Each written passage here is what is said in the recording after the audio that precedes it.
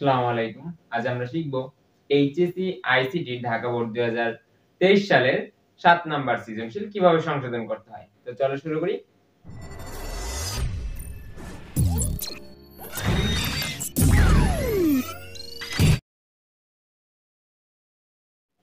তো তোমরা খেয়াল করো, প্রশ্নে কি বলছে? প্রশ্নে বলছে এফ সমান সমান এ নট বি সি যোগ এ বি নট সি যোগ এ বি সি নট যোগ এ বি সি ঠিক আছে? তারপর ক নাম্বার প্রশ্ন বলছে যে কাউন্টার কাকে বলে? খ নাম্বার প্রশ্ন বলছে বাইনারি এবং বিসিডি এক নয়, ব্যাখ্যা করো। গ নাম্বারে বলছে উদ্দীপকের প্রদত্ত লজিক ফাংশনটি সত্যক সারণী তৈরি করো। তারপর ঘ নাম্বারে বলছে উদ্দীপকের প্রদত্ত শর্তটি সরি সমীকরণটির সরলীকরণের মান শুধুমাত্র ন্যান গেটেই ন্যান গেট দিয়েই বাস্তবায়ন করো। ঠিক আছে? এই প্রশ্নটা একটা তৃতীয় অধ্যায় গেট থেকে আসছে, ঠিক আছে? তৃতীয় অধ্যায়, দ্বিতীয় অংশ ডিজিটাল ডিভাইসের থেকে আসছে। তো প্রথম প্রশ্ন কি বলছে? কাউন্টার কাকে বলে? কাউন্টার হলো যে সিকোয়েন্স সিকোয়েন্সের সার্কিটের সাহায্যে তো তাতে প্রদত্তকৃত ইনপুট পালসের সংখ্যা কি?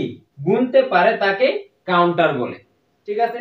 তারপর তোমরা দেখো, খ নাম্বারে কি বলছে? খ নাম্বারে বলছে বাইনারি ও বি সরি বাইনারি ও বিসিডি কোড এক নয়, ব্যাখ্যা করো। তো দেখো বাইনারি ও বিসিডি কোড এক নয়, কারণ নিচে ব্যাখ্যা করা হলো। আচ্ছা ঠিক আছে। কারণ কি? কারণ হলো বাইনারি যে সংখ্যা পদ্ধতিতে মানে বাইনারি সংখ্যা যাকে মানে এখানে কারণ দুটো দিয়ে দিব, এক নম্বরে বাইনারি সংখ্যা এবং বিসিডি কোডের সংখ্যা দেখো কি বলছে? যে সংখ্যা পদ্ধতিতে দুইটি অঙ্ক, অর্থাৎ জিরো এবং ওয়ান ব্যবহার করে গণনার কাজ সম্পন্ন করা হয় গণনার কাজ সম্পন্ন করা হয়, তাকে বাইনারি বলে। অপরদিকে দেখো বিসিডি কোড কি? দশমিক সংখ্যার প্রতিটা অঙ্ককে চার বিটের বাইনারি করলে যে মান পাওয়া যায় তাকে বিসিডি কোড বলে। এখানে কি শুধুমাত্র দুইটি সংখ্যা নিয়ে গণনার কাজ সম্পন্ন করা হয়?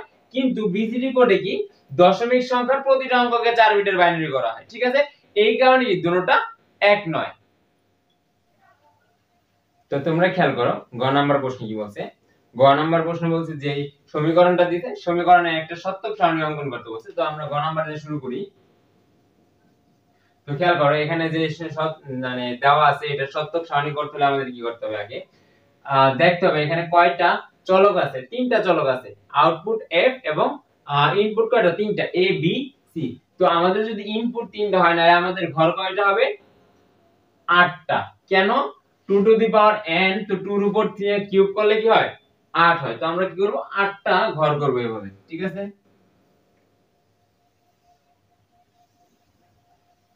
তো প্রথমে আমাদের এই হেডলাইন লেখার জন্য একটা দাগ দিলাম, এখন আটটা করতে হবে। তো মাঝখান থেকে একটা দাগ দিব হইল দুইটা, আবার মাঝখান থেকে দুটোটার মাঝখান থেকে একটা দাগ দিব হইল চারটা। তারপর আবার এই চারটার মাঝখান থেকে একটা করে দাগ দিব, হয়ে গেল আটটা। ঠিক আছে? এভাবে ঘর কয়টা করব? আটটা। আটটা করার পর দেখো আমাদের এ বি সি তো ইনপুট তিনটা আছে, তো আমরা এখানে লিখব এ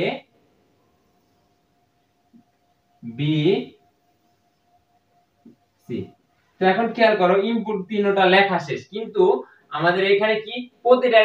নট আছে। এন নট আছে বি নট আছে সি নট আছে। তার মানে তিনটা রেখে আবার নট করতে এন নট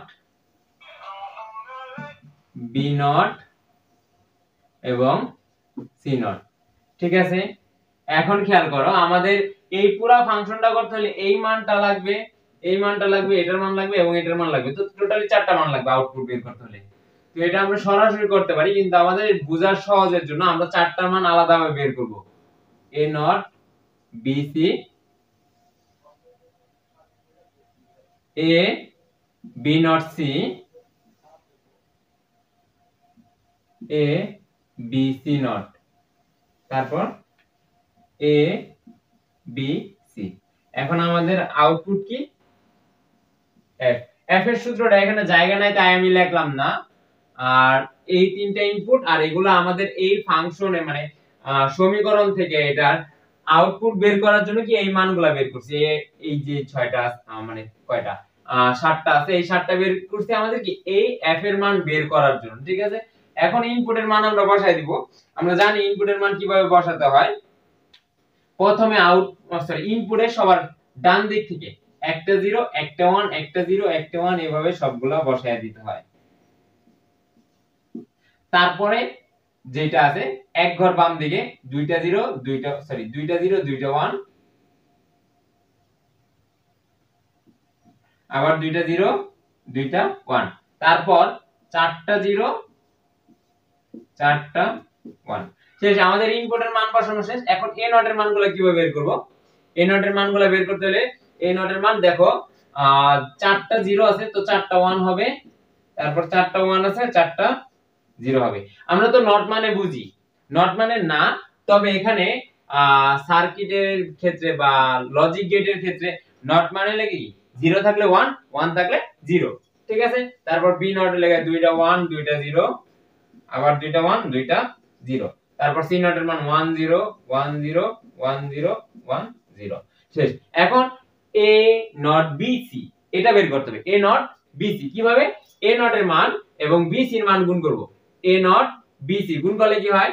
জিরো কেন জিরো হয়? আমি বলি, কারণ তোমরা এখানে খেয়াল করো গুণের ক্ষেত্রে একটা মান যদি জিরো হয়, তাহলে জিরো তারপর দেখো, এভাবে কি করব? এখানে এ নট বি সি এখানে যেহেতু একটা জিরো তাই কি? জিরো তারপর দেখো, এখানেও কি? জিরো থাকার কারণে জিরো হয়েছে। কেন? এ নট এর মান ওয়ান বির মান ওয়ান কিন্তু সির মান জিরো এখন দেখো, এখানে তিন নাম্বারে দেখো এ বি নট সির মান কত? তিনটাই ওয়ান তাই কি হলো? এটার মান ওয়ান হলো। তারপর তিনটাই জিরো তাই জিরো হলো। আবার এক, দুইটা জিরো থাকার কারণে জিরো হয়েছে। তারপর দুইটা জিরো থাকার কারণে জিরো তারপর একটা জিরো থাকার কারণে জিরো আচ্ছা ওকে আমরা এখানে সবগুলোর মান বের করছি। এ দুঃখিত, এটার মান বের করছি। এখন দেখো এ বি নট সি এটার মান বের করব। এ খেয়াল কর, এখান থেকে মান নিব, এখান থেকে মান নিব, আর এখান থেকে মান নিব। ঠিক আছে? তো মান নিয়ে আমরা। তো জিরো জিরো গুণ করলে হয় জিরো জিরো। দেখো, এখানে যেহেতু এর মান নিব, খেয়াল কর, এর মান নিব, এর যেহেতু প্রথম চারটা জিরো, সেহেতু প্রথম চারটা জিরোই হবে, এতে কোনো সন্দেহ নাই। তারপরে এর মান কি? ওয়ান। সির মান জিরো এখানে। তার মানে এটাও জিরো। তারপর দেখো, ওয়ান সির মান ওয়ান এবং বির মান ওয়ান। তার মানে এইটা কি হবে? শুধু ওয়ান হবে। তারপর এর মান ওয়ান সির মান জিরো তার মানে জিরো তারপর এর মান ওয়ান মান ওয়ান কিন্তু বি মান জিরো তার মানে এটা জিরো হবে। ঠিক আছে? তারপর আমরা দেখি এ বি সি নট কি হয়? এর মান যেহেতু জিরো তো এটা হবে জিরো এর মান প্রথম চারটাই হবে জিরো তারপর দেখো, খেয়াল করো, প্রথম চারটে কি বসালাম? জিরো বসাইলাম জিরো বসানোর পর কি হয়েছে? পরবর্তীতে এর মান জিরো সরি এর মান ওয়ান কিন্তু বির মান জিরো ঠিক আছে? তারপরটা এর মান ওয়ান বির মান জিরো তারপর এর মান ওয়ান বির মান ওয়ান কিন্তু সি নট এর মান কি? এটা আমাদের দেখতে হবে সি নট এর মান ওয়ান তার মানে এটার মান হবে ওয়ান আর পরেরটা কি? সি নট এর মান জিরো হওয়ার কারণে এটা কি? জিরো এখন দেখো আমরা এই কয়টা মান বের করছি, তারপর দেখো এ বি সি যেহেতু প্রথম চারটা জিরো তাই আমরা জিরো বসাই দিলাম এর প্রথম চারটা কি? জিরো তাই প্রথম চারটা কি?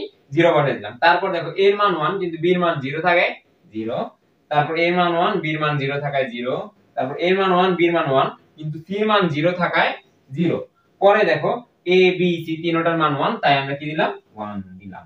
ওকে তো আমাদের এখানে মানগুলো বসানো শেষ। এখন আমাদের আউটপুটের মান বের করতে হবে আউটপুট দেখো, একটা, দুইটা, তিনটা, চারটা, এই চারটার যোগফল। তো এই চারটাকে আমরা কি করব? যোগ করে দিব। জিরো জিরো জিরো জিরো যোগ করলে হয় জিরো দেখো, যোগের ক্ষেত্রে আমরা জানি, যোগের ক্ষেত্রে একটা ওয়ান থাকলে কি? ওয়ান তো আমাদের এত কষ্ট করে এখানে আমরা যোগ করলাম না ডাইরেক্ট মানটা বসাই দিই। তো দেখো, এখানে একটা, দুইটা, তিনটা, চারটা চারোটাই জিরো তাই জিরো একটা, দুইটা, তিনটা, চারটা চারোটাই জিরো তাই জিরো একটা মান যেহেতু ওয়ান আছে, যোগের ক্ষেত্রে একটা ওয়ান থাকলে ওয়ান এখানে দেখো, সবগুলা জিরো তাই কি? জিরো এখানে দেখো, একটা ওয়ান থাকার কারণে ওয়ান এখানে একটা ওয়ান থাকার কারণে ওয়ান এখানে একটা থাকার ওয়ান থাকার কারণে ওয়ান আশা করি তোমরা বুঝতে পারছ। তবে তোমরা এই যে প্রথম মানটা এবং শেষ মানটা একটু মনে রাখো, প্রথম মানটা জিরো আমি সাইড নোটে লিখে রাখি, এবং শেষ মানটা ওয়ান কেন এটা লিখে রাখলাম? কারণ এই সার্কিট থেকে আমাদের ঘ নাম্বারে যখন প্রশ্ন করতে হবে, তখন আমরা এই দুইটা দ্বারা প্রমাণ করব। তো তোমরা খেয়াল করো, ঘ নাম্বার প্রশ্ন কীভাবে করতে হবে? ঘ নাম্বারে আমাদের বলছে যে, এই সম্পূর্ণ ফাংশনটাকে আমাদের সরলীকরণ করতে বলছে। এবং এই সরলীকরণ করাটা যেমন তেমন, এটা কি আমাদের বলছে, এই সরলীকরণটা কি আমাদের ন্যান গেটে প্রকাশ করা সম্ভব কিনা ন্যান গেটে বাস্তবায়ন করা সম্ভব কিনা, এটা ব্যাখ্যা করতে বলছে বা ন্যান গেটে বাস্তবায়ন করতে বলছে। তো আমাদের আগে ন্যান গেটটা বুঝতে হবে। প্রথমে শুরু করার আগে আমি একটু ন্যান গেটটা বুঝে দিই NAND gate and A and D এই এন্ড এবং এন্ড এই দুইটা মিলা হয়েছে কি? ন্যান্ড এই এন্ড মানে হলো গিয়ে not not plus A N D not plus N মানে নট গেট এবং এন্ড গেট মিলা দুইটা মিলা যেটা হয়েছে সেটাই কি? ন্যান্ড গেট ঠিক আছে? তো এই ন্যান্ড গেটটাকে আমাদের বাস্তবায়ন করতে হলে আমাদের বুঝতে হবে, এইখানে অর বলতে কোনো শব্দ থাকবে না মানে যোগ কোনো চিহ্ন থাকবে না। আর সবগুলোর উপর কি? নটে রূপান্তর করতে হবে। কিসে? নটে রূপান্তর করতে হবে। তো আমাদের এগুলো সবগুলো নটে রূপান্তর করতে হলে কি করতে হবে? তো আমাদের এটাকে দেখো, দেওয়া আছে দিয়ে লিখব। দেওয়া আছে। দেওয়া আছে কি? F সমান সমান a নট b c যোগ a, b নট c যোগ a, b c নট যোগ a, b c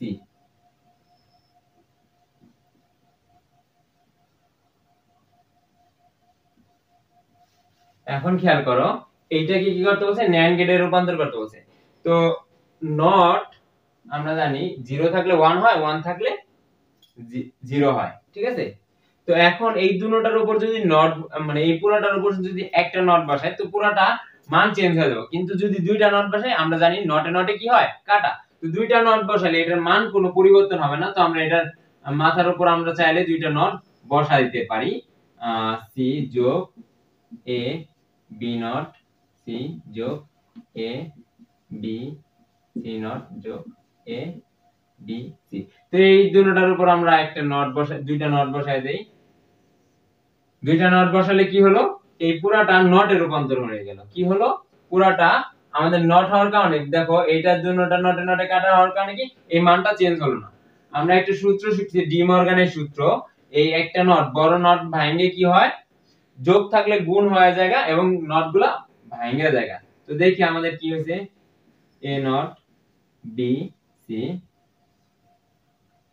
into A B not C into A B C not whole not into A B C whole not আর বড় যে নটটা ছিল এই হলে আমাদের নট শেষ। দেখো, এখানে করলে কি আমাদের শেষ? যেহেতু আরও করা যায়, এগুলা প্রতিটার মাথার উপর নট দিলে দেওয়া যায়। কিন্তু আমাদের প্রতিটার মাথার উপর নট দেওয়ার দরকার নাই। কেন? কারণ আমাদের যেহেতু এটা এন্ড গেটের রূপান্তর হয়ে গেছে সবকিছুই, সেহেতু আমরা ই হয়ে গেছে। এটা যে হয়েছে কিনা আমরা একটু চেক করব। কিন্তু তার আগে এটার ইটা আগে নেই আমরা, কি বলে? গেটটা আগে নেই। এ বি সি তো দেখো, প্রতিটা নট আছে, তাই আমি আলাদাভাবে একটা নট বের করব।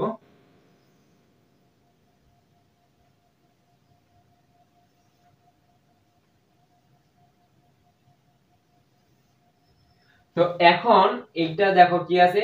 A not B C A not B C তো এখানে সবকিছু থাকে কি? গুণাকারে এবং সবগুলার মাথার উপরে কি থাকবে? নট থাকবে। তারপর দেখো, এই মানটা নেব। এই মানটা কি আছে? A B not C A B not not C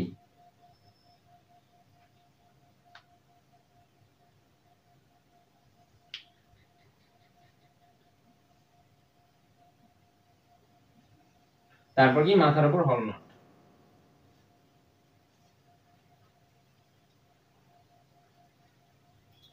তারপর দেখো, আমরা কি নিব? A B C not A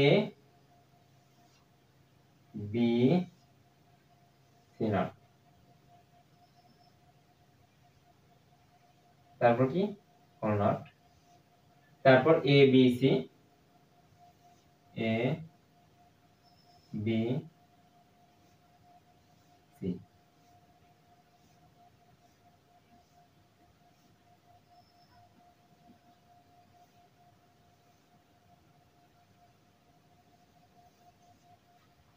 এখন এগুলো সবগুলোকে একত্র করে দেব।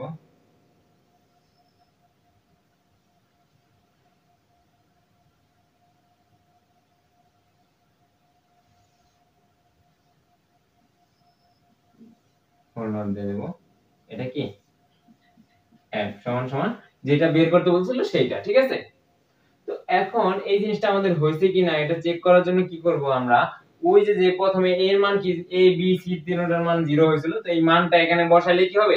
আমাদের আসল মানটা হবে জিরো তো এর মান যদি হয় জিরো খেয়াল করো, আমরা জাস্ট এটা বোঝার জন্য একটু দেখাইতাছি তোমাকে। একটু করলেই হবে, আর তোমরা আর একটু এই লাইনটাকে আর একটু সুন্দর করার জন্য যেটির উপর নট নাই তাদের উপর দুইটা করে নট দিয়ে দিলে আমার কাছে মনে আর একটু সুন্দর হবে। যেমন ধরো এ নট বির উপর নট নাই, তাই আমরা দুইটা নট দিয়ে দিলাম। সির উপর নট নাই, তাই এর উপর দুইটা নট দিয়ে দিলাম। কারণ নটে নটে কি, কাটা। আর যেহেতু আমাদের ন্যান গেট বলছে তো প্রতিটার উপর নট থাকলে একটু সুন্দর দেখা যায়, তাই আমরা এই জিনিসটা দিতেছি।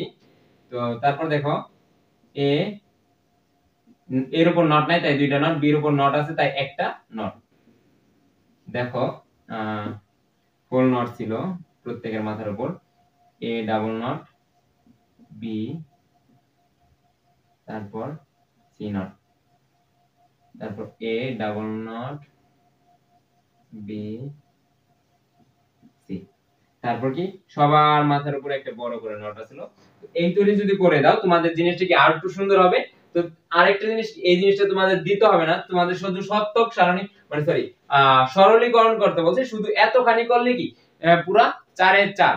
তারপর তোমরা যদি কেউ চাও, তো এইটুকু করতে পারো। আর এইটুকু, এইটুকুর জন্য, প্রতিটার জন্য ডাবল করে নট দেওয়া উচিত ছিল, যেটা আমি দেই নাই।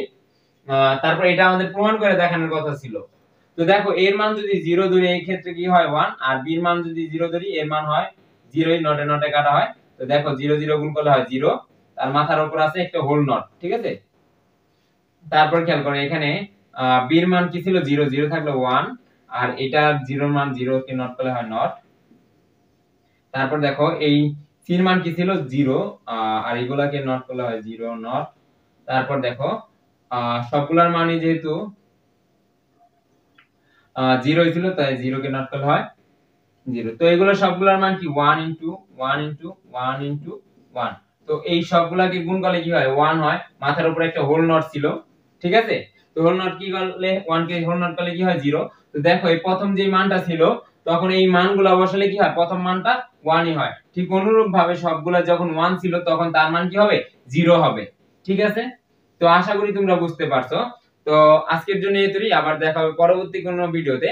তবে আমার যদি এই ভিডিওতে কোথাও কোনো ভুল ত্রুটি থাকে, অবশ্যই ক্ষমা দৃষ্টিতে দেখবা, আর পারলে সেই ভুলগুলোকে অবশ্যই সংশোধন করে দিবা।